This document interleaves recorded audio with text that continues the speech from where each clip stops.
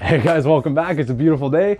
We just got this uh, cabinet, this metal locker cabinet from somebody. They're getting rid of it and asked if we want it. So obviously we sniped it. Uh, it is in this bright red color though, and we're not into that. So Danielle thought an army green would be good. So I'm gonna sand it down and spray it today and maybe make a new home for the lizard. So let's do it thing I did was grab these drop sheets that I normally use when I'm painting walls and stuff and just put them out on the patio just to make sure if I do miss with my spraying I won't get anything covered in paint. The next step would be to take the shelves out but I had to take them out to get it out here.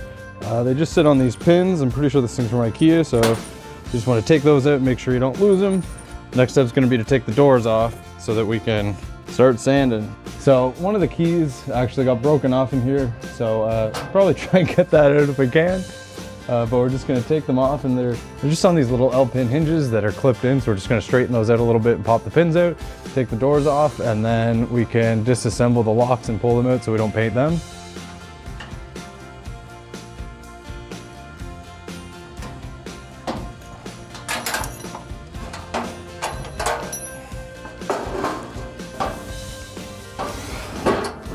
Now for the lock mechanisms, you can't obviously do it from the outside, but on the inside, there's a little screw here that holds the lock part and then the actual key mechanism is just bolted on with this big nut. So we're just gonna take those off.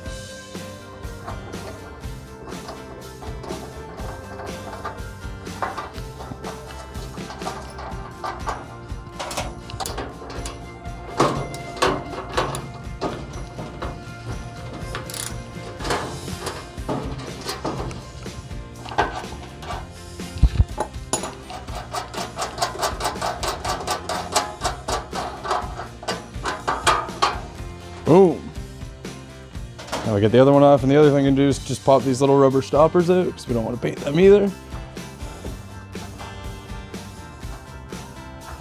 If we can, without wrecking them. There we go. So I am gonna do two, maybe three sands on this. I'm gonna start with something a, a bit rougher, uh, like an 80 to get the shine off because the idea is you want to get whatever's on there that's finished roughed up so the new paint will stick. And then I'm gonna go over it with uh, something a little bit finer to make sure it's smooth. And if I'm not happy with that, I'll find an even finer sandpaper just to go over and make sure it's smooth before I paint it. Um, so I just have this block that's a cut off from the cabinet we made.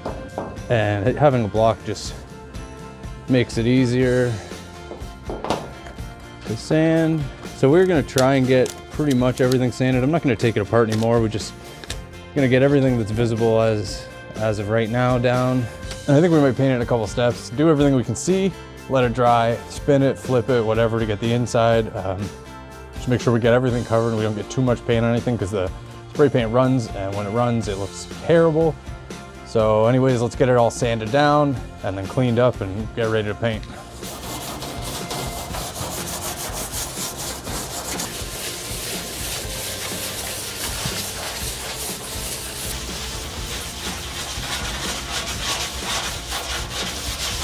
So we're actually not trying to take all the paint off. We're just trying to get the shine off and make it rough so it'll take the other paint. You can see the difference between this and this. That's all you want to do. You don't want to beat it up too much and get any huge, huge scratches in it. So before I flip it to get all the parts that'll be easier to sand when it's upside down, I'm gonna take a wet cloth, get the dust off, and then take another piece. This is 180 grit and go over these spots as well. So you can see the big difference. See everything here has only been done once. This has been done twice with the 180. So it's quite a bit smoother. So I'm just gonna wipe everything down, like I said, with a wet cloth, get all that dust up, and then go over it all with the really fine sandpaper. And then we're gonna flip it and sand uh, all the other pieces. I'm just gonna flip it and do everything else uh, from the other side, get all the little nooks and crannies, and then sand the shelves and the doors.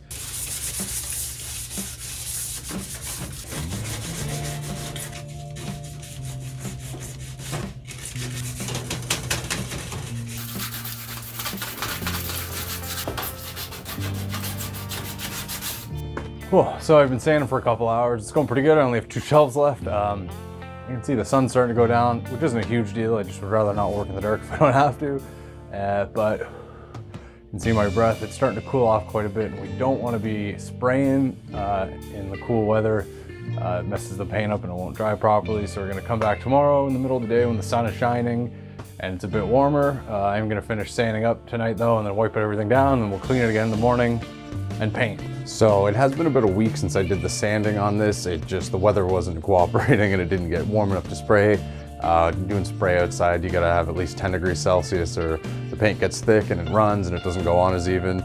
So I do have a bunch of rags and a bucket of water and I'm gonna wipe everything down again and get it nice and clean and then leave it out to dry and hopefully by then the sun will be hitting here and we'll have a warm enough day to get spraying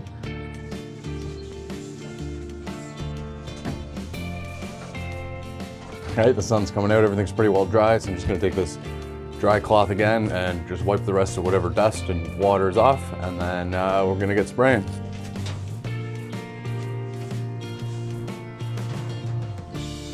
Just gonna see if we can pry the feet out so they don't get painted.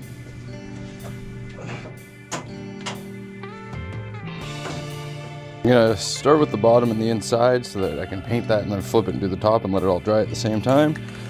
You don't want to be too close. You want to start spraying while you're doing motion and just keep kind of going. So.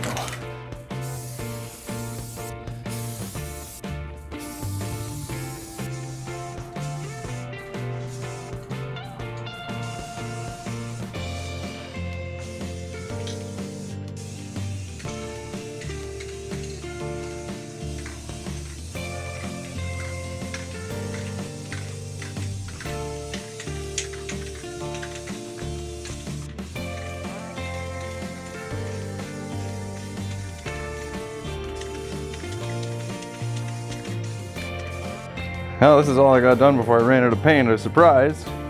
So, about two more cans. It says twice the coverage, but I don't know about that. I mean, it looks all right. There are definitely some spots that need another bit.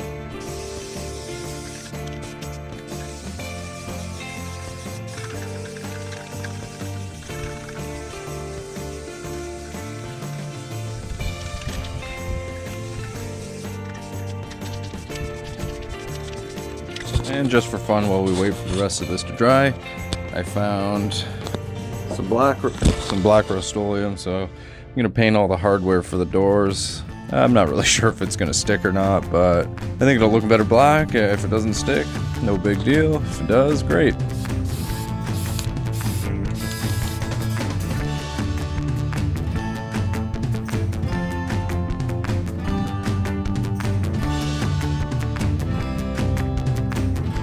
overall, I'm pretty stoked about how this turned out. I think it looks great with Puff in there. She's got a new home to watch her fish.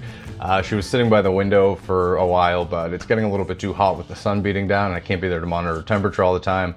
So this is a much better place for her. Uh, there are a few spots on the inside that got scratched up from the doors moving and from when I put the shelves in and I'm not sure if I didn't wait long enough for the paint to harden or if I should have put something on the outside. So if you have any tips for me on how I can do this better, please leave me a comment. If you like what you see, hit subscribe because we're always coming up with fun ideas about how to make the home look better and more functional. And I'll be posting videos as we do more projects. I think next I might put a shelf up above there. Thanks for watching. Check out some more videos if you want more fun stuff you can do at home.